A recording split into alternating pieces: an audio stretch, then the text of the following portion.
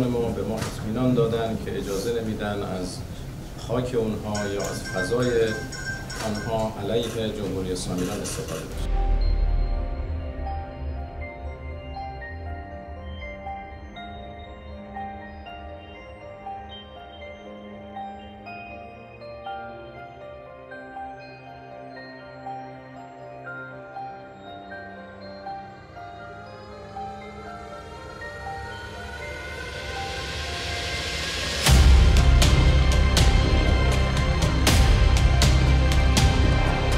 از نزدیک تحرکات پایگاه آمریکا در منطقه رو رصد می‌کنیم و مراقب تمامی حرکات اونها و پروازهای اونها هستیم.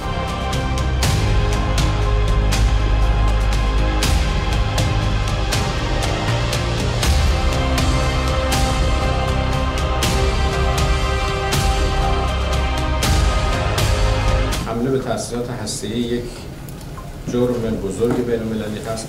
حتی تهدید کردن تأسیسات هسته‌ای هم جرم است و خلاف حقوق بین